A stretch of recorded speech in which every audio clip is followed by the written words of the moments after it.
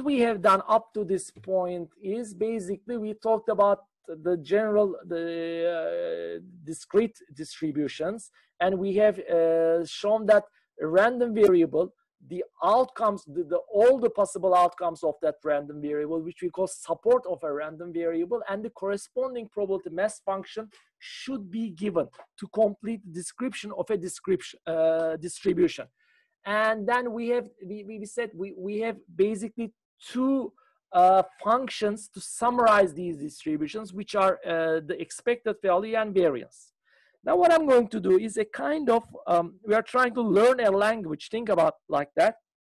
We are going to learn a couple of uh, frequently used distributions. Why are these distributions frequently used? Because they seem to model natural events pretty much in many occasions. So the first word, the first vocabulary for this new language that we are going to learn is the uniform distribution, which means it's going to be a specific distribution. So when I say a distribution, we are going to uh, learn what the random uh, variable may take. And we are going to uh, learn what the, the corresponding probability mass function values. And we are going to learn what the expected value and variance of that uh, distribution. So therefore, we are going to suggest that there is something called uniform distribution. Then we are going to learn its properties. And once we know that, we, we can use this uniform distribution, just like learning a new language, we can use this word in different occasions that may help us. So we are going to learn a couple of those words, those distributions that may help our life. So uniform distribution, once I say that, I'm sure you are going to think a lot of uh, things in real life which correspond to distribution, a finite number of possible values with equal probability. Well, of uh, finite number of possible values, it say that's important. So therefore, it's impossible that it's going to be at even an uh, uh, countable infinity. We are going to have a finite number of values with equal probability. For instance, tossing a dice, you have six outcomes, six possible values, finite, and we may assume that they are with equal probability using the classical view. So in this case, the question may be what is going to be the probability mass function of such a case? Now the derivation is very simple. Here it's shown if we have x1 to xn, whatever you, you may refer any values here, real values, integers, it doesn't matter, but n different values, n possible values, and they are all going to have the same probability mass function.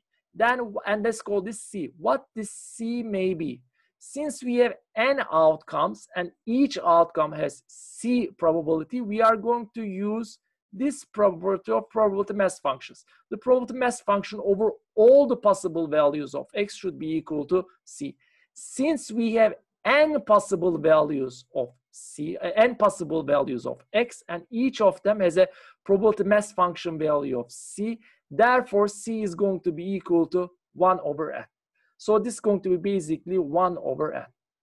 Very simple. If we are talking about, let's say, uh, heads and tails, a coin tossing, it's going to be uh, a discrete uniform distribution, 1 over 1, 1 over 2 zero and one are the uniform uh, the, the the random vari the, the values of the random variable can take. And these are the uh, uh, equal probability mass function values. And this should be equal to 1 over 2 where does that 2 come from? Because we have two uh, possible random variable values which is equal to n here. And therefore this c is going to be equal to 1 over n. Therefore it's going to be 1 over 2 well, again, very simple. If you throw a dice, if we are talking about dice throwing thing, it's going to be one, two, to six. They are going to be all equal, and we call it C. C is going to be equal to, since we have n is equal to six, it's going to be equal to one over six. So we can uh, model many events in nature using discrete uniform distribution. Now, once we have the x taking different values and probability mass function, what we need to do is to complete the uh, understanding or linguistic of that, understanding the linguistic of that word, maybe again using the analogy to learning a new language, uh, to find the the, cent, uh, the, the uh, center of mass or the uh, variance and expected value of that uh, discrete uniform distribution. So therefore, for this one, the expected value is going to be equal to, again, for all possible values of x multiplied by the corresponding fx value. So it's going to be, again, now what, I, what we do here is, I'm going to assume that this x starts at a, an integer value, and it ends at b, and it increases by 1 a plus 1, a plus 2, uh, which goes to b. So this starts at a and this starts at b. Think about this a to be equal to 4, for instance, and b to equal to 15, and it increases by one unit. Of course, there may be other cases, right? But this is what we assume to make derivation easier. In this case, if this is the case, expected value is going to be equal to from 4 to 15, let's say, and I'm going to show it with A and B actually, right, for a general formulation. is going to be the expected value is going to be here multiplied by, okay, I have used K here, so let me use the same notation here. So it's going to be K times probability mass function of K. However, note that probability mass function of K is constant to be equal to C, and C is equal to the number of observations, 1 over number of observations. Therefore, it's going to be equal to 1 over this B minus A plus 1. Therefore, it's going to be equal to 15 minus 4 plus 1. There are 12 different uh, values that the random variable can take. Therefore, this is going to be, again, I write it like this from 4 to 15. This time we have 1 over 12 here, k. Now note that I guess most of you or some of you will at least remember this from the Gauss formulation of sum of uh, successive integers. When you use this Gauss formulation, you come up with this rule. So basically, this is going to be equal to b plus a over 2. So for this whole operation. Please show that for this specific example between 4 and 15, this gives the correct result. And that's that makes very fine heuristics actually. It's actually just the middle point between B and A, the, the expected value. And without any proof, but using the same logic, variance is going to be found by this expression. But note that this expression is valid only if b and a are integers and the values that x can take between a and b are by increments of 1 if this is the case. Otherwise, you should come up with your own equations and uh, come up with your own results. Okay, let me show you one last example. Then it's going to be, um, uh, uh, I'm going to stop with this lecture. So let's say outcomes of a dice tossing can be modeled uniform discrete random variable. So actually I have already done that, but let's do it.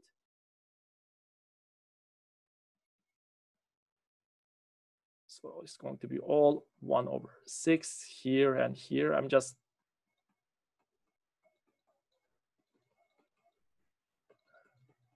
All right, so this is our description of the system. Then what do we have? We would like to find the expected value of x. By the way, this is x, this is fx.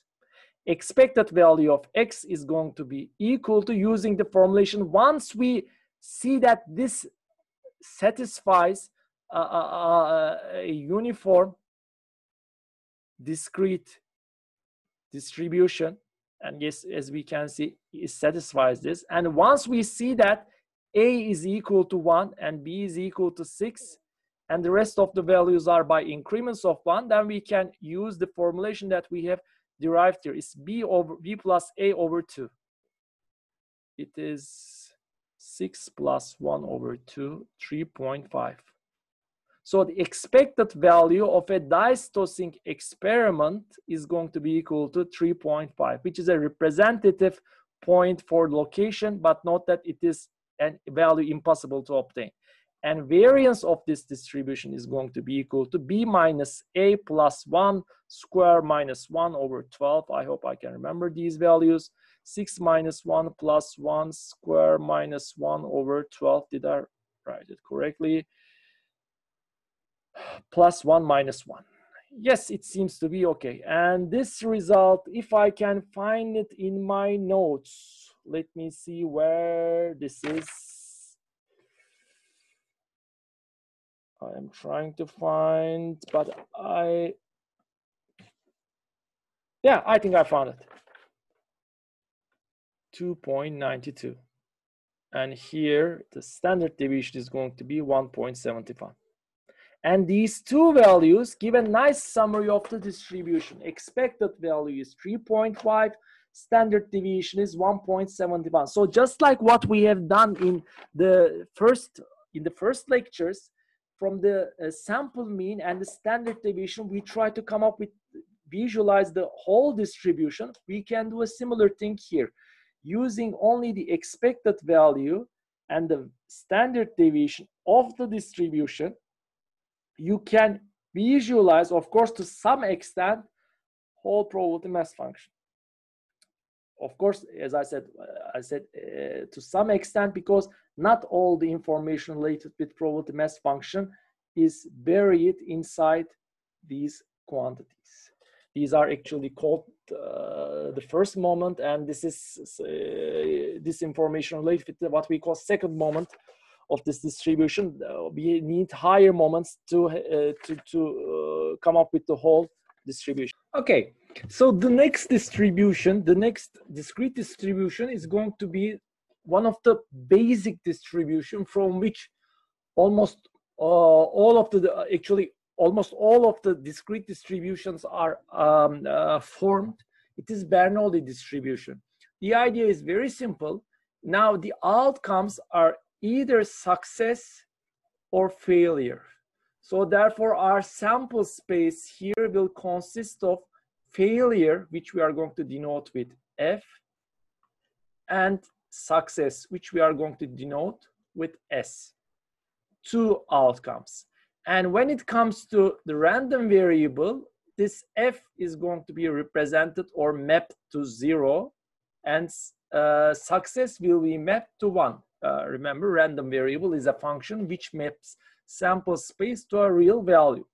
And then the question that we ask is, once we define the sample space and the range or support of the random variable, then we ask the question, what is the probability mass function at these values? Since we have only two outcomes, we only need to know these values. Therefore, these are these are specific to the, the specific to the experiment that we are performing. We usually call this Q and we usually call this P. So the failure probability we are going to denote with Q and the success probability we are going to denote with P. Note that there's a relation between them since they should add up to one because the probability mass function should up to one for all the domain of uh, x values. Therefore, we can say that q is equal to 1 minus p or p is equal to 1 minus q. Very straightforward. Hence, if you plot the probability mass function, this is what you are going to obtain. So at 0 and 1, we have two possible x values and these are the probabilities associated with each of these values. All right, now, once let's just talk about a very simple example, tossing a single coin, for instance. I have already talked about this in terms uh, likening to or uh, saying that this can be represented as a uh, uniform discrete distribution. Yes, but on the other hand, it can be also denoted with Bernoulli distribution we have two outcomes, heads and uh, tails, as you can see. Let me also get rid of this, the, these things. All right, we can call, for instance, heads as failure. You can write anything, you can call it anything that you like. If you like, you can call it success. And tails at as success. So we convert the sample space to a random variable. And once we convert random variable, then we are going to assign the probabilities to zero and one success, a failure and success. And assuming that using the classical view, uh, assuming uh, equal uh, likeliness or probability for both cases, for each cases, we end up with this result. Note that unlike the, uh, the, the uniform distribution case, Q and P may take different values here. That's why Bernoulli distribution is not a simplified or only two outcome case of a uniform distribution because these could have been easily different. If this is uh, not a pair for coin, what we may call, then these probabilities would not be equal to 1 over 2. Now, mean and variance of a Bernoulli distributed random variable. What we simply do is we just use the equation related with the mean value. For most cases, this is going to work. I mean, for all cases, it should of course work, but in some cases, the, uh, the, the, arithmetics may be a little bit difficult to handle, but for many cases, it's simple. So what we do is for each outcome, we have zero, we have the corresponding probability. So zero is the failure and zero failure is shown with Q. If you like, you can write one minus P, just this one, that's okay. But I think this is easier to handle. And the other success, the outcome, which is denoted by one, is going to occur with a probability of P. This is going to be equal to zero. So the expected value of a Bernoulli uh, distributed random variable is going to be equal to P. So therefore, as an for a simple example, let me say you continue from the previous example, for instance, when you define X as the to toss, uh, coin tossing uh, process with outcome zero and one, expected value of x is going to be equal to p, which is going to be equal to 0.5. So what we call success probability is going to occur with a probability of 0.5. And actually what the expected value of x is equal to 0.5, which practically means if you toss this coin an infinite number of times, as the sample size goes to infinity, the sample average is going to tend to 0.5. This is what the expected value corresponds. Now we are talking about distributions with naming or uh, giving some details about distributions. It may be a little bit easier to visualize the meaning of uh, expected value. Now, when it comes to variance, it's the very same thing. Then the variance formulation here is you can see x minus mu square multiplied by the probability mass function mu is already found as p therefore we just write the p value here so this is going to be 0 minus p squared times note that this is the first part x minus mu squared times the associated probability of x which is going to be q and the other one is 1 minus p squared uh, times p so what we do is we uh, cleverly use, instead of 1 minus p, we can write q's. Therefore, this is going to be p squared q plus q squared p. And the result is going to be in common parentheses p q times p plus q, which another very uh, simple but slightly clever uh, application of p plus q is equal to 1. Therefore, the result is going to be p times q. But in many cases, people also use 1 minus 1 times 1 minus p. So for this specific example, coin tossing example, what is the variance of x? This is going to be equal to 0.5 times 0.5, which is going to be equal to 0.25. Hence, standard deviation is going to be equal to square root of that value, 0.5.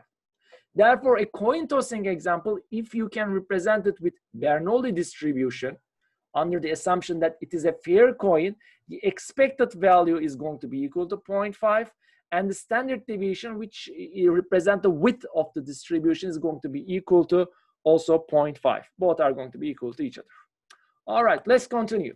Now there is a concept which is called bernoulli trials which is going to be a, a, a nice way of combining a single outcome um, uh, or a single experiment uh, outcomes with multiple experiment outcomes. What do I mean by that? I previously tried to mention this difference. If you, for instance, just toss a coin once, then the sample space is going to be equal to heads or tails. Two possible outcomes. On the other hand, if you toss the coin two times, then the sample space is going to be equal to head tails, tails heads, and heads heads actually let me write all of them tails tails now now note that sample space consists of four outcomes and this single this a single outcome, although it consists of two experiments, is actually a single outcome. And therefore, when we associate x values, we, we are going to associate to each uh, outcome a single value. In some cases, I haven't mentioned that previously, you can uh, give two different random variables. One for the first experiment, one for the second experiment, but I'm not going to confuse you with that concept right now. So what I'm trying to say is that now we can do as many experiments that we can. So each one set of experiment or one train of experiment, right, is going to uh, be uh, comprising a single uh, element in a sample space. So when we employ, when we apply a trials, a series of uh, Bernoulli experiments after one after another, we call it a Ber Ber uh, Bernoulli trial. So what are the conditions of these Bernoulli trials? They should be independent from each other and there should be a constant probability of success in each experiment. The typical example when I, for instance, talk about that, the typical example may be a trial or a sequence of uh, coin tossing experiment. So for those experiments, right, we uh, slightly change the notation which make to, to make the, the explanation or to, to, to keep track of the derivation easier, we call xi to denote the result of the ith experiment. So here is the idea. We now we have a sample space. For instance, let's say we have, we, we uh, toss a coin twice. Then the sample space. I wish I haven't I hadn't erased this, but again head tails. I'm gonna this time write it faster. Okay, without curly brackets inside. This time, what we are going to do is, for instance, to describe this sample outcome, we are going to write x1 is going to be equal to, we are going to represent uh, heads with zero and tails with one. x1 is zero, x2 is going to be equal to one. So this is going to be a single outcome. So what we do here is we are going to change these this representation into a random variable representation, but we are not going to be using a single x to represent each of these outcomes. We are going to be representing x1 and x2, which are going to correspond to each experiment.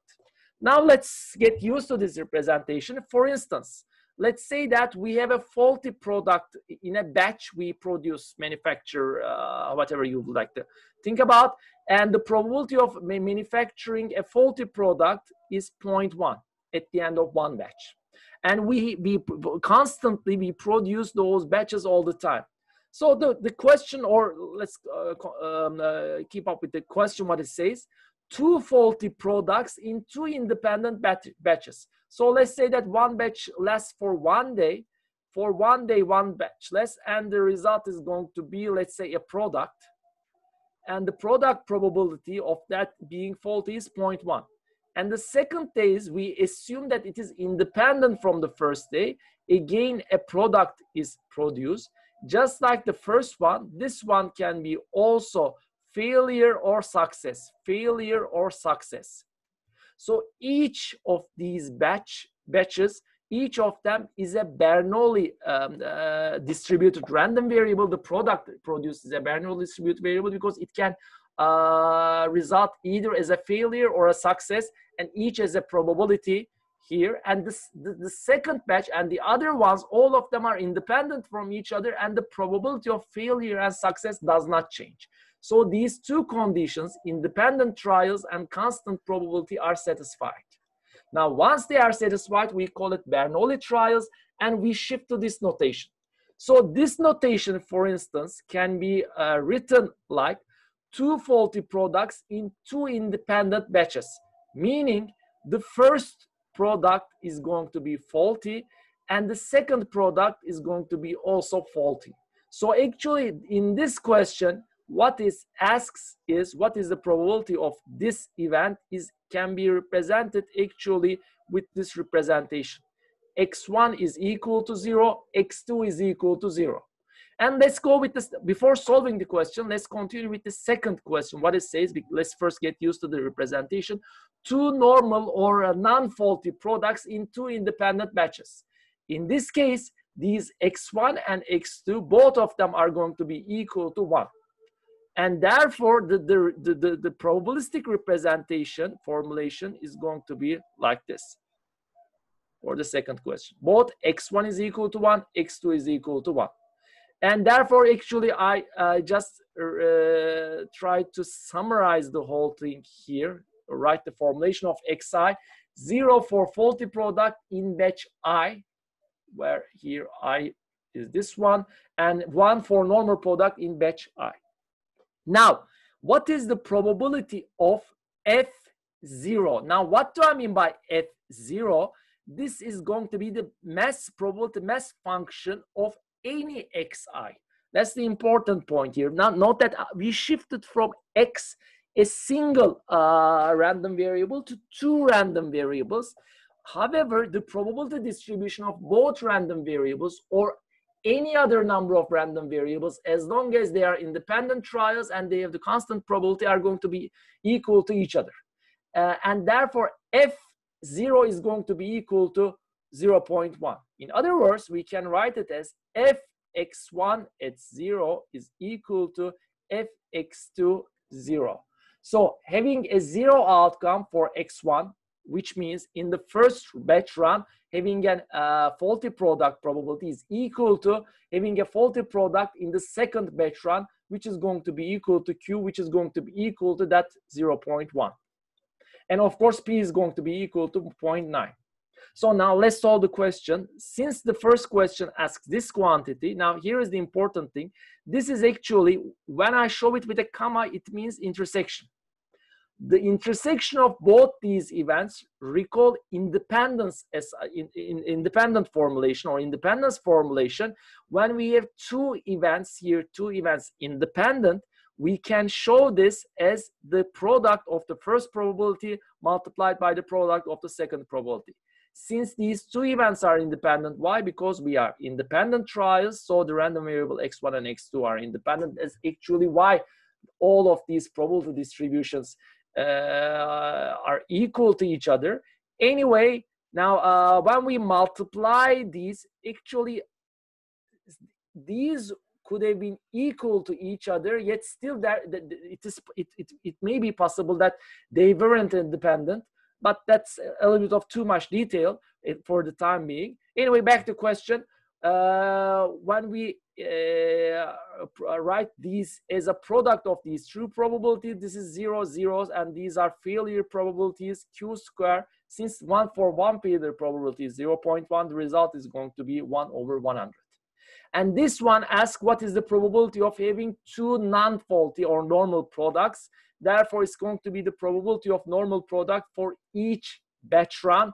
So it's going to be p squared, which is going to be 0.81, 81%.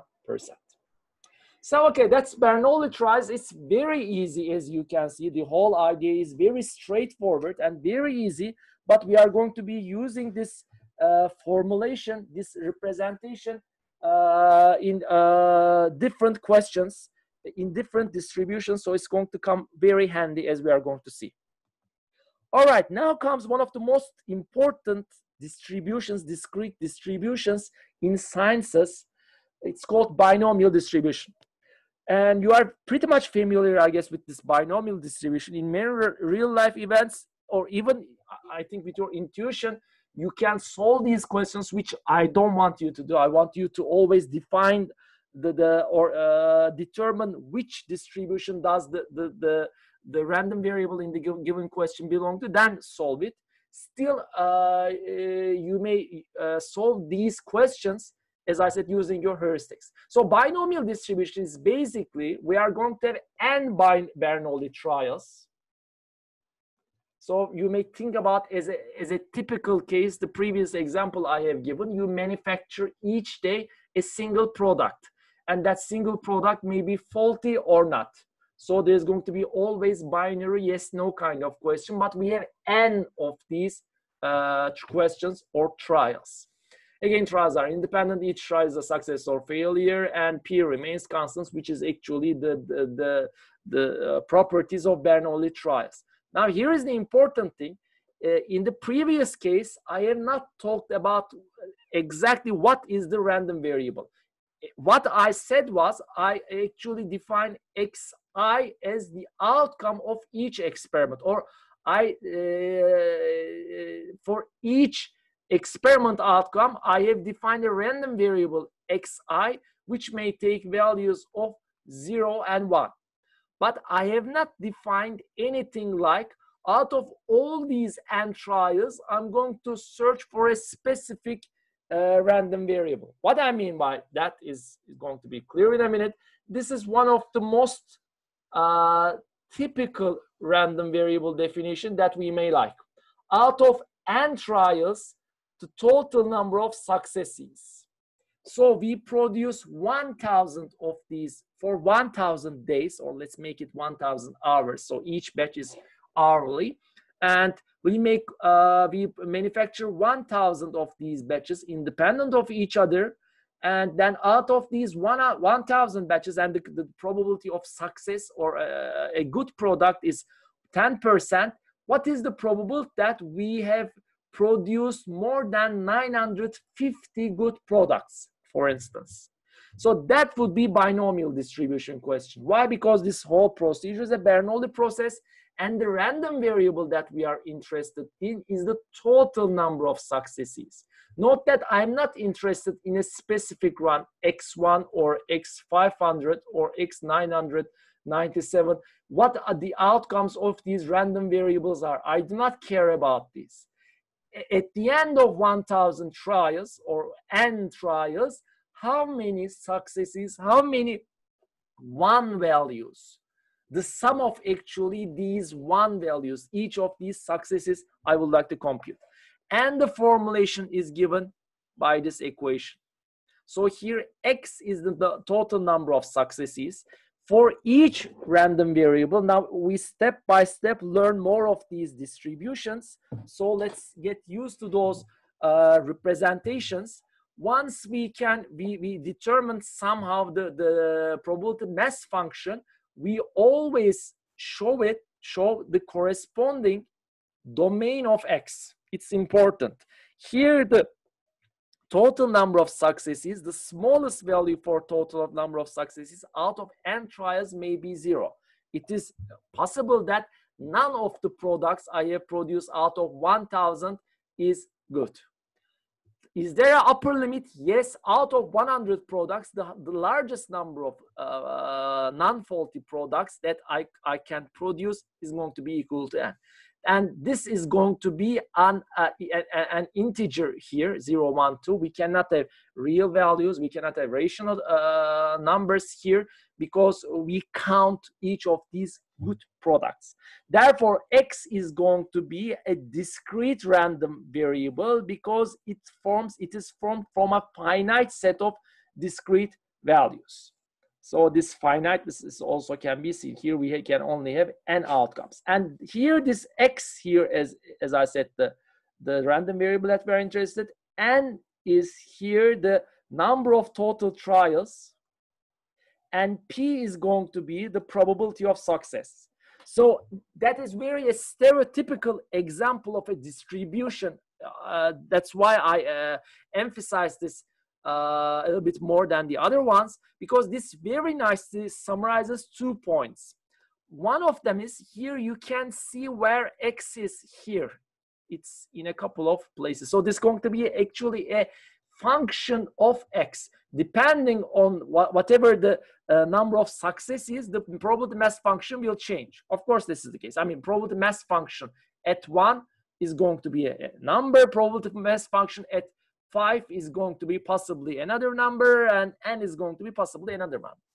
And there is going to be another thing. So here the variable is not only the random variable, but the variable of the function is x but also this uh, this uh, uh, probability mass function has parameters and those parameters are n and p what is the difference between the parameter and variable once you determine for a specific experiment or for a specific experiment you are going to just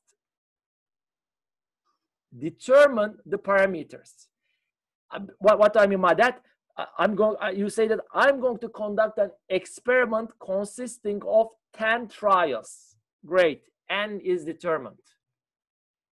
Then somehow by some independent way, you should find the probability for success.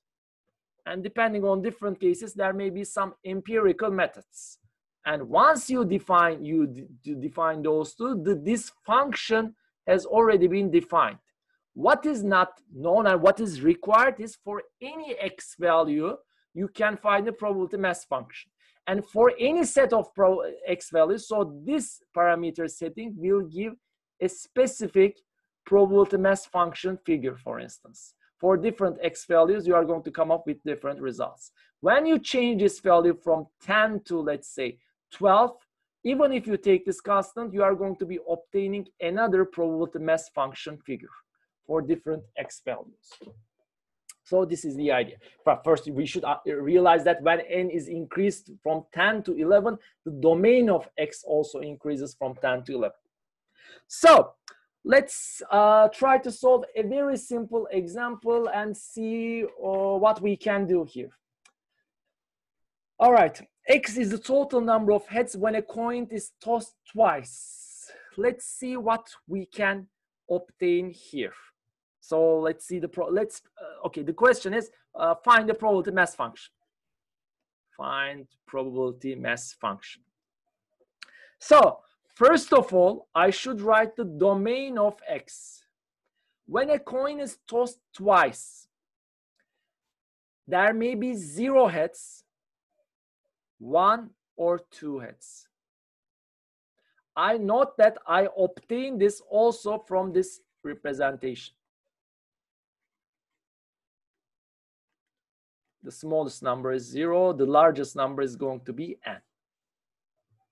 All right, now n is equal to two here, what else? And probability. I need to define a probability so that I can use this. Again, heads and tails for a single experiment, I assume that probability is 0 0.0.1. So to need to, to find the probability mass function, I need to find the probability mass function associated with each of these values taken by x. So f0 is going to be equal to n choose x.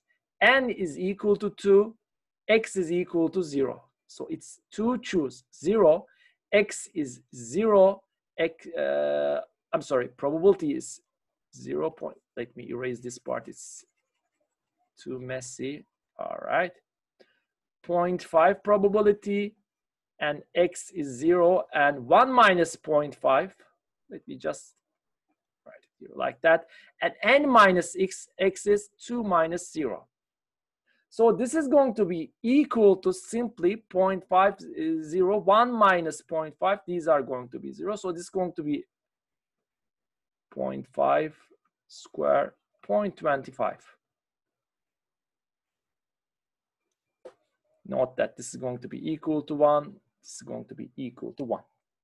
All right, let's continue. Now, f at 1, probability mass function of 1. To choose 1, 0.5, 1 and 0.5, 1. To choose 1 is 2.5 and 0.5 and when you do that the result is going to be 0.5. Now please show that yourself if 2 is going to be equal to 0.25 Actually, even you do not need to calculate this combin combinatorial uh, arithmetics because this is 0.5, this is 0.25. Since x is equal to 2 is the last member of this set, the probability should be also equal to 0.25. Therefore, if you draw the probability mass function value, it's going to be like this.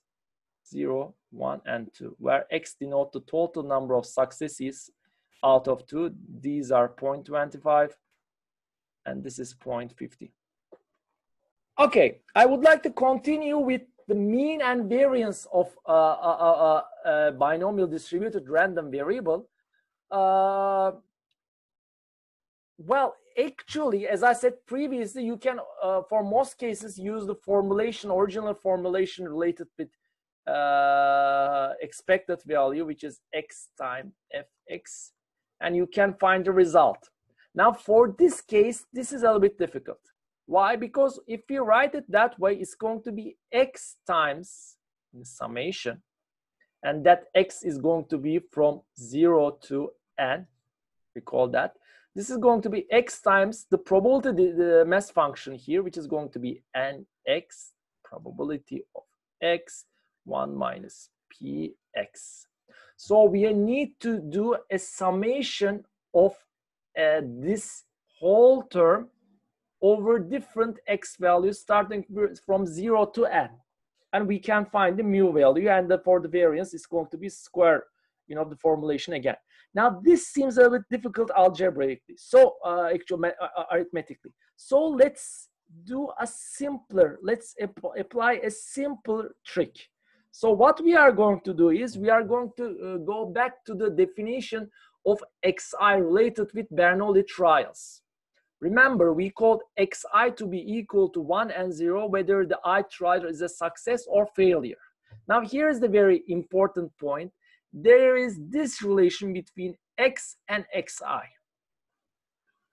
We should realize this. Note that x is a different concept from xi. Maybe it's a bit unfortunate. Maybe this should have been called ai anything other than x so that you can see that it is different from x. Because x represents the total number of successes whereas what we call xi is the outcome of the ith experiment so if you like think about this a but i'm not going to ch change it to a because usually in literature it's represented as xi so why is this when we at the xi values we obtain x? Because from 1 to n for n trials for each of these trials when we have success we have xi to be equal to 1 and what X asks us or uh, requires is to compute the total number of successes. So the, hence, if you add those one values, right, since each of them corresponds to a success, this will represent or this will correspond to this will be equal to X. Now, when we have that relation, actually, we should realize that this is a very nice deterministic relation between the random variables xi and the random variable x. So that, therefore, instead of expected value of x, we can use expected value of xi. Since actually x is equal to xi. Now, once you do that, we are going to have this representation, each x value I haven't talked about this yet, but due to the linearity of expectation operator, which you can easily uh, show, maybe in the bonus material, I'm going to uh, talk about that. Uh, probably I'm going to give you a link if I talk about that. You can write it as expected x1, expected x2 to expected as xn, expectation operator applying on each of the random variables. And now we have this one, we should go, we should think about what does, the, what is this equal to? We can go back to Bernoulli distribution case, Bernoulli trials. Since each of them is a Bernoulli, Bernoulli distributed random variable xi, the expected value of a Bernoulli distributed random variable is equal to p. Maybe during this derivation, this seemed very unnecessary here. Why find just very simple thing, expected value of a, a zero or one variable, but as you can see, it is useful here. Therefore, this is going to be equal to P. And since this is a Bernoulli trial, each of them is going to be equal to P. Hence, expected value is going to be equal to N times P. And it makes perfect sense. It means, for instance, uh, recall the previous example, we were producing 1,000 batches or 1,000 uh, products and 1,000 batches. And actually we had 0.1 probability of faulty product. So the expected value of a faulty product is, is if you call this P as the faulty product, then it's going to be equal to 1000 multiplied by 0.1, 100. So out of 1,000 products, you expect 100 of them to be faulty. Now, when you say you expect, it, when you conduct these experiments, of course, necessarily it's not going to be the result. Expectation is the uh, uh, long frequency averaging, not that. Okay, you can do the same trick for finding variance. Instead of x, you write this value. Now this is, may seem a little bit less obvious, but you can write this expression in this way. but this will hold only if x1, x2, xn are independent. I'll talk about that later. For the time being, just know that this may seem counterintuitive, but this is going to be variance of x1, x2. You can write it as separate elements if x1, x2 are independent. Just to give you a hint here, well, this seems probably, since variance is taking the square operator, probably this seems strange to you. I mean, from the uh, high, high, high school early on, you have learned that A is not equal to A square plus B square kind of thing. And this very much looks like something like this because variance is squaring. The reason is actually we have in real life, we have also the cross products here, plus 2AB. Now, in statistics, as we are going to see, this cross product will be a measure of dependence between the two variables. If they are independent, this is going to be equal to zero. Of course, not exactly I'm talking about this, this quantity here. Here, it's not going to be equal to zero because we are talking about uh, constant values here, A and B. But when it comes to random variables, due to the independence issue, the cross product terms will cancel and we can write this. So when we write this, it's going to be a variance of each element. So what we need is that since they are independent from each other, we just need the variance of this element. And if you go back two slides prior, uh, three slides prior to that, variance here is were found to be equal to P times Q. Hence, for each x1, x2, we have P times Q. This is N times P times Q or N times P times 1 minus p. All right. Let's uh, show, solve a very simple example that you are that you are pretty much very much familiar with in your life up to this point. In a multiple choice test, there are 10 questions and each of them has four choices.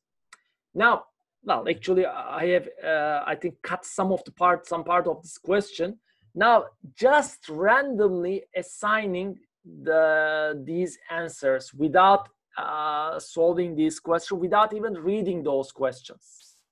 Find the expected value of correct answers and find the variance of these uh, correct answers. So X here is defined as number of correct answers out of n is equal to 10 questions. Now, uh, auto, but randomly answered. That's the, of course, very important point. All right, so you should realize that once you define x by this way, this x is going to be from 0, 1 to 10. These are the values that you can obtain. And once you define those two, you should immediately realize that x is binomial distributed. We usually show it by this way. And we usually write inside the parameters, binomial distributed, and the parameters are n is equal to 10, and probability of success here, since we have four choices, giving equal weight to each of them, probability of success is equal to 0.5. 0.25, I'm sorry. So let me write this more clearly. I think there was not much space here. So n is equal to 10, probability is equal to 0.25. Note that when you write it this way, and these are the parameters, recall the difference between parameters and variables, the random variable x is uh, distributed, binomial distribution is, uh, is a random variable is a binomial distributed random variable with these parameters. Now, once you give this, this is all you need to do or you need to uh, de de determine or give to determine the whole distribution of x.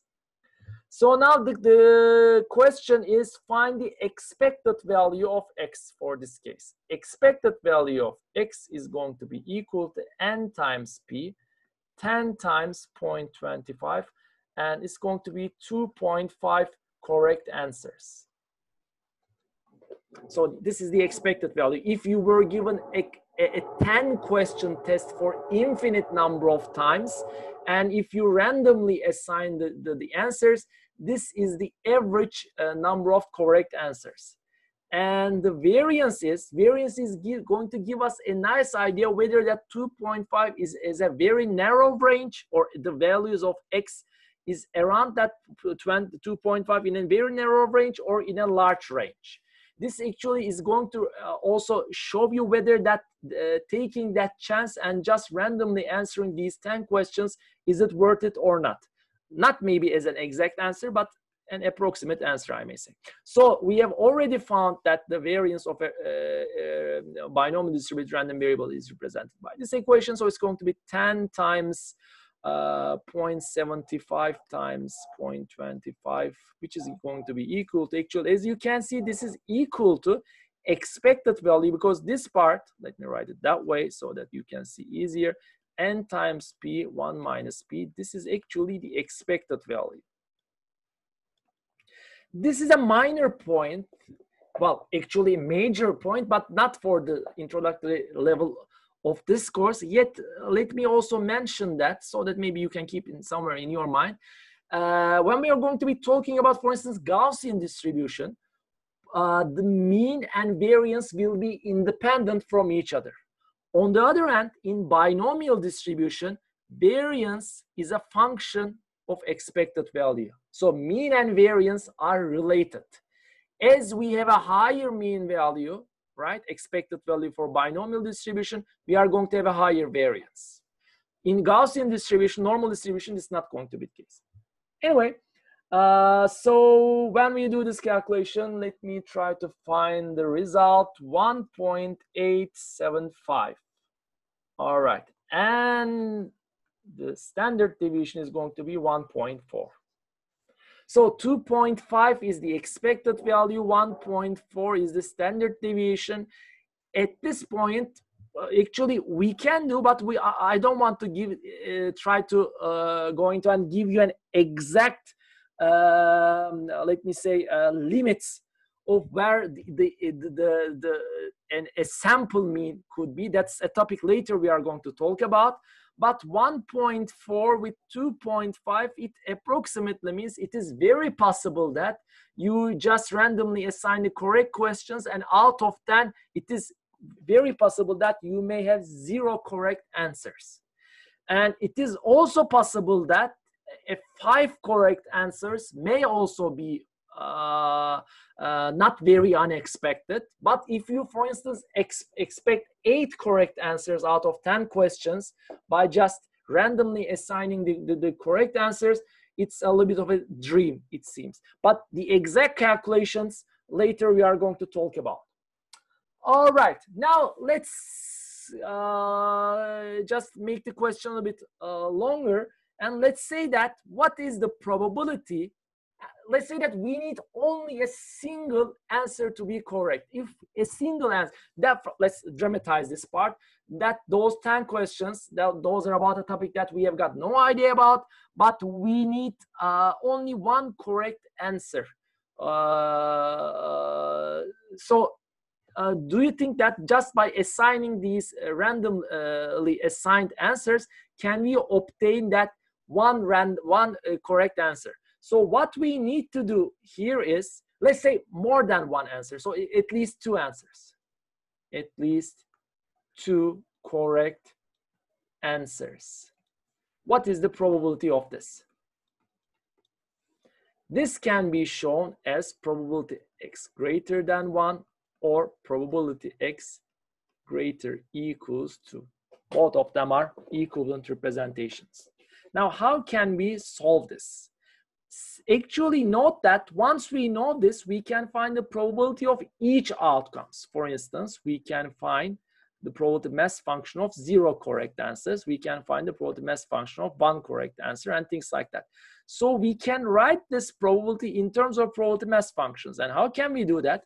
Note that this is going to be equal to probability, I'm sorry, it's going to be equal to 1 minus probability of x smaller than 2 or 1 minus probability of x smaller equal 1 both are equal to each other.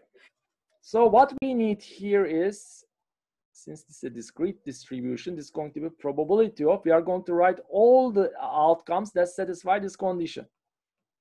x is equal to zero because this x zero is smaller equal one minus probability x is equal to one.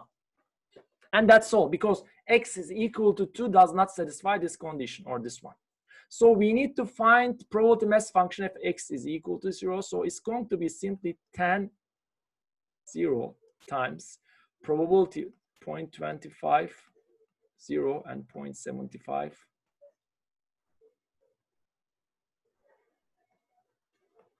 Ten, which means practically all of the answers are uh, going to be wrong.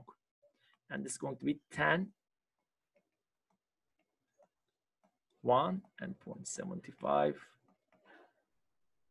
So the result is going to be equal to, we should calculate each of these values and the result is going to be, actually I haven't calculated these numbers, so please do so.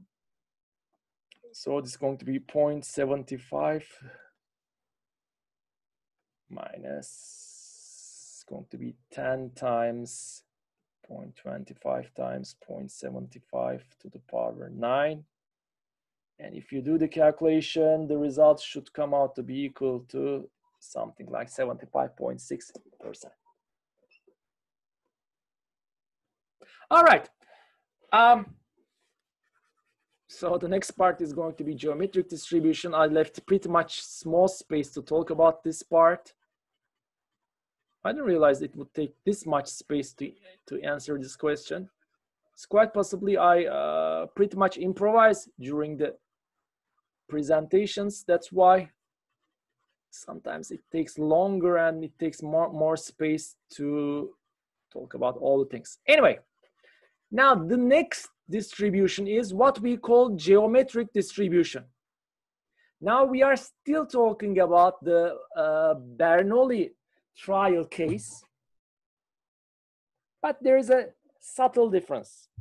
In the previous case, we at the very beginning of the experiment, we determined what the n, the number of trials should be equal to.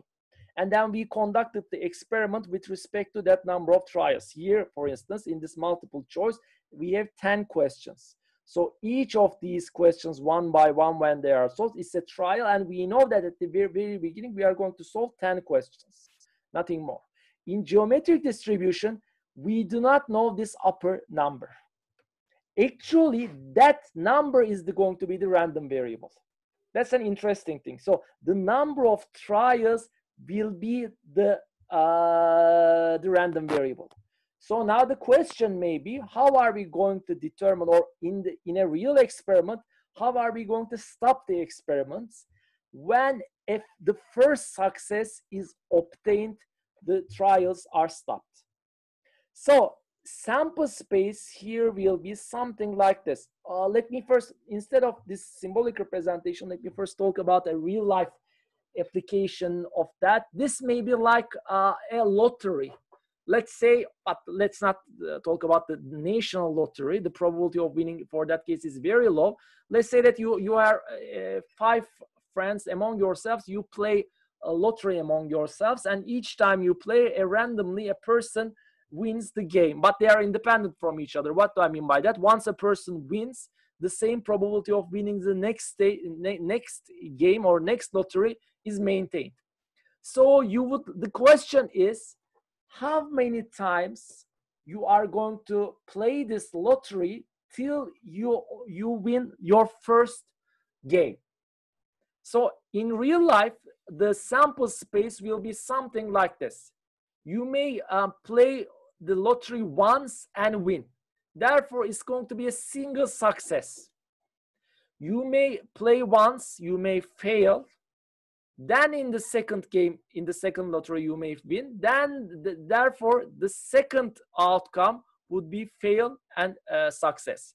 The third outcome would be the first two uh, lotteries will be lost and the third one will be uh, uh, will be won and therefore fail fail success and it goes like this four times and it goes like this so this is the sample space note that this is again a uh, bernoulli trial so this is a single outcome, but it consists of two Bernoulli experiments.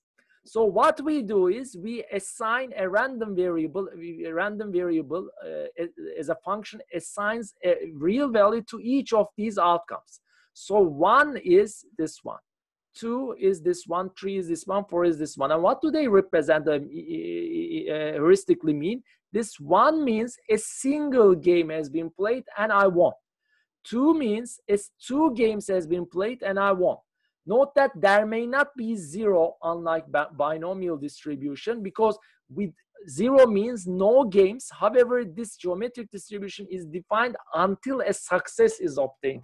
In zero games or in zero trials, a success cannot be obtained. A single trial is at least required.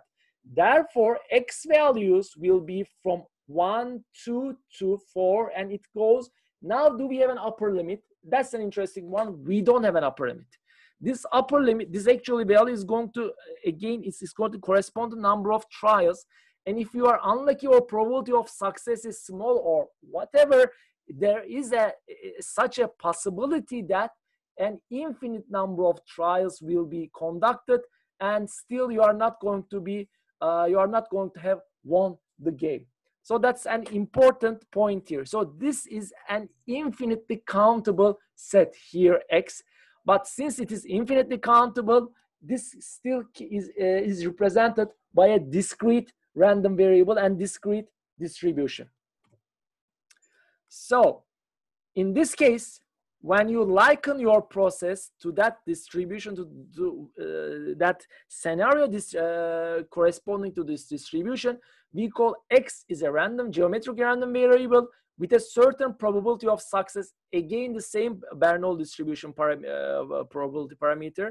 Here, the probability is going to be equal to this, and x is going to be from 1 to infinity. And this one has also a pretty much intuitive meaning. The first x minus 1 uh, trials here are going to be failure Therefore, it's going to be 1 minus 1, 1 minus 1, all multiplied together independently, multiplication rule. However, the last trial should be multiplied, should be a success, therefore it's multiplied by p. Unlike binomial distribution, these cannot change its places because when the first uh, success is obtained, the whole procedure stops. Now, without any proof, I'm going to talk about the, those in the bonus uh, part because the algebra is the, the, the, the derivation is slightly uh, involved. The expectation here is going to be equal to 1 over p and variance is going to be equal to q or 1 minus p over p square. All right, now there is an interesting property that we are going to also later talk about in what we call exponential distribution in the next like series of lectures about continuous distributions. There is something called lack of memory property. And what is that uh, it means since trials are independent success or failure of the next sample is independent of the past geometric random variable has lack of memory property now what does that mean uh, let me talk about that on a uh, simple example.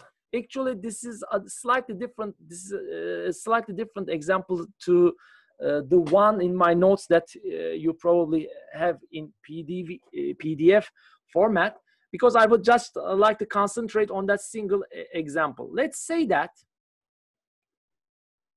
um, we have a we produce all right we have again we have a factory and we produced a product and that product may be um, okay a faulty product with 0.01 probability and a good product with 0.99 probability. Note that here I define the faulty product as success because I'm going, that's what I'm going to be interested in. And this one as failure. Now note that success and failure has got nothing to do what it corresponds to in real life. Success is the uh, outcome which you are interested in, which you expect it to happen. So what you do is this. And let's say that these products are just produced here like this and one product is produced and you check this one and you check another one and you check this one and this is how it goes. And from the history you know that probability of faulty products is 0.01 now here is the question. What is the probability that the first faulty product the first faulty product will be the third that I uh, check. So I started checking this one, one, two, and three. This third one is the fault, faulty one. What is that probability? This is not about lack of memory property yet. I'm going to come to that in a couple of minutes. So for that, we actually think about this case, actually what we are interested in this one, failure, failure, success. So we just copy this equation here. fx is equal to 1 minus p, x minus 1 times p. So what is the probability that x is equal to 3 means this equation. 1 minus p, 0 0.01 to the power 2 and 0.01. So this is 0.90 square 0.01, whatever that probability is. Now, without actually using this equation, I want you to use this equation, but let's use our heuristics. It means that the first two products were good. The third one was faulty. Let's say this is the first question. The second one what is the probability that the first three or the first, let's make it simple, two products will be good. Now it says the first two products, therefore it's not asking a single probability mass function value, just like this example I talked about multiple choices. I have erased this part about part B where uh, we asked uh, what is the probability of obtaining at least uh, one correct answer. It is similar to that. The first two products will be good. It means the success will not be obtained in the first two rounds. Therefore, here this is going to be equal to what is asked is what is probability that oh by the way i should have defined x here very clearly. x is equal to the number of uh, products i checked till i find or i have found a faulty one Okay, so this is the definition of x, my random variable. So now this is going to be equal to probability of x.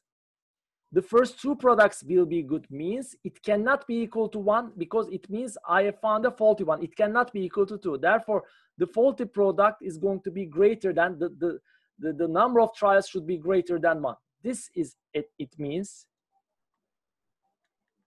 1 minus f1 minus f2. Because again, I am interested in all the x values from, if you like, you can uh, write it that way, f3 plus f4 plus blah, blah, blah. And this is going to be equal to 1 minus this value. Therefore, I go back here. This is going to be equal to 1 minus f1. The first one is going to be faulty minus 0.99 times 0.01. This is the result. Okay, now comes the third part of the question. let's actually, let me get rid of this. Let me not get rid of this part. I'll try to uh, write it here. Let's see if I can do it. Given that no faults until fourth product.